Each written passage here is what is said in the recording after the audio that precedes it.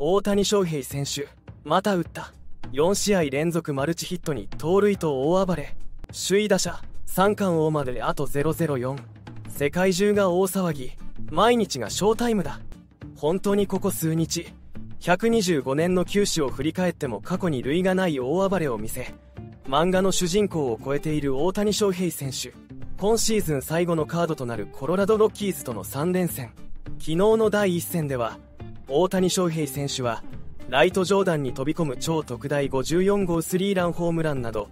5打数4安打4打点1ホームラン1盗塁と10試合連続ヒット8試合連続複数出塁。連日のタイムリーホームランに4安打猛打賞盗塁ともう何日連続という大暴れを見せました。ません。ホームランは2位に15本差をつけ独走。打点は2位に19点差をつけ独走。打率は309まで上昇しリーグ2位に浮上。1位とは005差これは本当にもう一体どうなっているんでしょうか。また今季57盗塁目を記録し01年イチロー氏が記録した56盗塁を抜きシーズン日本人最多盗塁記録を達成。そして大谷翔平選手54、57に到達しあと2試合で1本打てば55、55です。様々な偉業を成し遂げてきた大谷翔平選手ですが9月の大暴れで日本人メジャーリーガー初トリプルスリーは確実にし残すは首位打者打率本塁打打点がトップのトリプルクラウン三冠王打率は1位アラエス選手と005差。なおアラエス選手は今日欠場。明日も欠場となれば打率314でシーズンを終えることになるので大谷翔平選手残り2試合で打率314まで上げられるかがポイントになってきます。もちろんアラエス選手の調子次第ですが今の大谷翔平選手なら可能性はあります。ちなみに打率本塁打打点がトップのトリプルクラウン三冠王となれば MLB12 年ぶり17人目そしてナ・リーグでは87年ぶりの快挙となります。さて今日のコロラドロッキーズとの第2戦。チームとしては今季161試合目。大谷翔平選手にとって158試合目に一番 DH で出場。期待しすぎなのは分かっていますが大谷翔平選手ここまで来たらあと1本塁打で55、55達成。そしてもしかしたらもしかする首位打者三冠を期待しましょう。今日ドジャース先発は山本由伸投手。前回23日の登板では制球が定まらず初回にいきなり3点を失う苦しい立ち上がりで結果として3回79球被安打54奪三振3フォアボール4失点で降板となりました。今日はポストシーズン前にどこまで調子を上げられるか注目の登板となりました。この動画では今日の大谷翔平選手の全打席を紹介。ドジャースの最新の成績。大谷翔平選手の最新の成績。過去シーズンとの打撃成績比較。大谷翔平選手が達成しそうな記録。をどこよりも詳しくデータをもとに紹介しているので忘れずにチャンネル登録もぜひよろしくお願いします。今日の大谷翔平選手の全打席を紹介。1回先頭打者で迎えた第1打席。3球目の136キロスライダーを打ってフェンス直撃のシングルヒット。これで11試合連続安打。昨日から5打席連続安打と勢いが止まりません。打率3113対12回西で迎えた第2打席。初球スライダーに手を出し夕ごろ打率3105対25回先頭で迎えた第3打席。フルカウントから今季リーグ単独2位の81個目のフォアボール。その後ムーキー・ベッツ選手の打席で2投に成功。今季リーグ単独2位。58個目の盗塁を記録。8対26回先頭で迎えた第4打席。フルカウントからライト前ヒット。これで9試合連続複数出塁を記録。最近もう息を吸うようにヒットを打っている気がします。打率311そしてその後今日2個目となる盗塁を成功。今季リーグ単独2位。59個目の盗塁となりこれで36盗塁連続成功で盗塁成功率は59盗塁成功4盗塁士の93.6%で55盗塁以上を試みた選手の中での盗塁成功率はメジャー歴代トップを維持しています。リーグ1位デラクルーズ選手65個で6個差で2位という状況でさすが盗塁王は無理でしたが来年以降大谷翔平選手がその気になればいずれ盗塁王獲得もあるでしょう。なお大谷翔平選手の盗塁成功率の秘訣はスピードではないのです。MLB 公式サイトのデータベースボールサーバントが公表しているデータ解析システムスタッドキャストを元にしたパーセンタイルランキングを見るとこれは上位1%に入る選手を100とし下位1%の選手が1と評価されるグラフでランニングスピードは72と上位に入る速さではあるのですがトップクラスというわけではないのです。つまり大谷翔平選手の盗塁成功率の秘訣は投手の癖を読み一歩目を踏み出す速さにあると言えるのです。これもまた大谷翔平選手が誰よりも野球について真摯に取り組んでいることの結果と言えるでしょう。8対27回西1塁で迎えた第5打席。4球目甘く入った145キロのスライダーを強振しましたが惜しくもライトライナー。9対29回無視1、2塁で迎えた第6打席。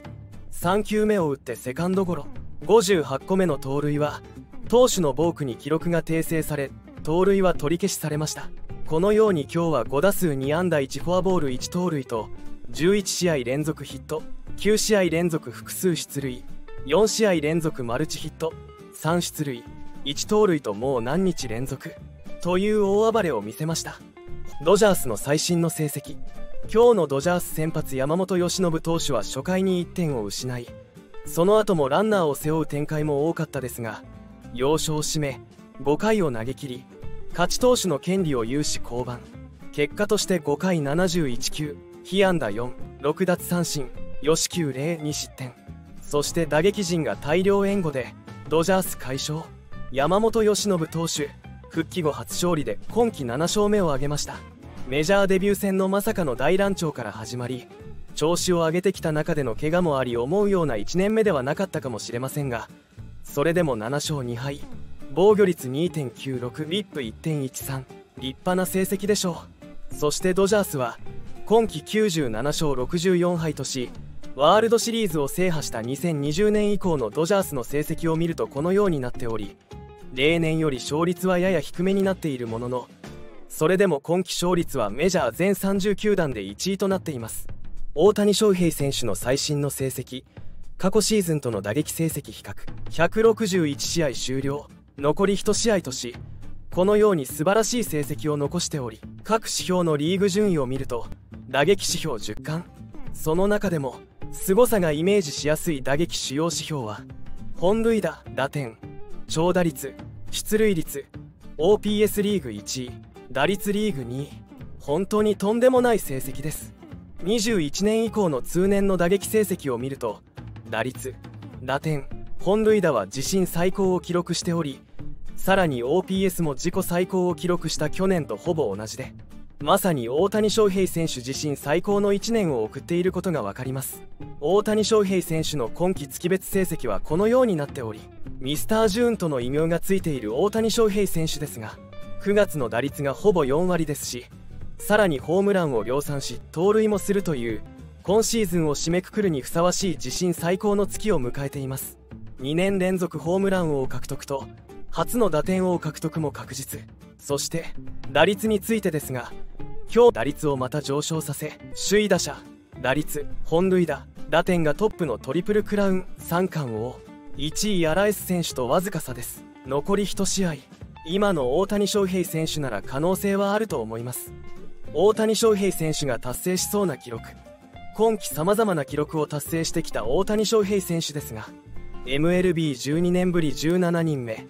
そしてナ・リーグでは87年ぶりの快挙となるトリプルクラウン3冠を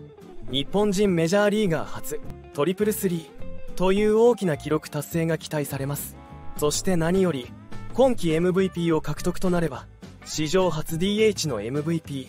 史上2人目の両リーグ MVP 史上15人目の2年連続 MVP という歴史的な快挙達成となります。MVP の別名が最高王将と言われるように MVP 投票で最も重要視される。チームへの貢献度を表す指標王はベースボールレファレンス版。ファングラフス版ともに大谷翔平選手が1位独走。王は打撃守備走塁。投球を総合的に評価して選手の貢献度を表す指標ですが大谷翔平選手はご存知の通り守備には一度もついておらず DH は守備加算が0ではなくマイナス評価を受けマイナス1.7されているにもかかわらず打撃と走塁のみでリーグダントツトップ。なお大谷翔平選手の OQ というのは代替可能な控え選手が出場した場合と比較して大谷翔平選手がドジャースの勝利数を9増やしたことを意味しておりまた勝利期待値をどれだけ増やしたかを示す指標 WPA はメジャー全体1位。勝利期待値とは試合のあらゆる状況で起こったプレーによって勝利する確率がどれだけ変わったかを測ったもの。そして場面の重要性を考慮せずにどれだけ勝利をもたらしたかを示す指標 WPALI はメジャー全体2位。1位アーロン・ジャッジ選手となっており大谷翔平選手の存在がドジャースにどれだけ勝利をもたらしたかがわかるでしょう大谷翔平選手がいなければドジャース地区優勝どころかポストシーズン進出もできていなかったと言えるのですまた大谷翔平選手はメジャー史上最速で40、40を達成。そして8月31日にメジャー史上初43、43を達成してから衝撃の9月中盤からの大暴れであっという間に50、55を超え54、58に到達。記録、インパクト、数値で圧倒的な結果を残している大谷翔平選手は文句なしでの MVP は確定と言えるでしょう。打撃指標がほぼ全冠。チャンスにも強く、走塁もすごい。そしてピッチャーとしてもエース級。もう本当に大谷翔平選手のような存在は二度と現れないのではないでしょうか。そしてリハビリ中で、シーズン開幕直後から事件に巻き込まれるというメンタル状況の中で、この成績、もう、野球選手としての究極体と言えるでしょう。これまで二刀流として圧倒的な成績を残してきた大谷翔平選手だけに、大谷って打者に専念したらどうなるんだろう。と言われてきましたがその答えが想像以上でいよいよ本当にとんでもないことになってきました。そしてレギュラーシーズン後は長年熱望し続けた10月の野球が待っています。大谷翔平選手が入団会見でドジャースファンに向けて発した第一声。ドジャースファンの皆さんチームに迎え入れていただきありがとうございます。100%断言します。皆さんとチームと共にロサンゼルスの通りでワールドシリーズ制覇のパレードを何度も行うという同じ目標に向かいます。この熱いコメントからわかるように大谷翔平選手が何より求めている優勝の2文字大谷翔平選手 WBC に続く世界一に輝く瞬間。今年実現なるか楽しみです。今回の動画は以上です。ご視聴ありがとうございました。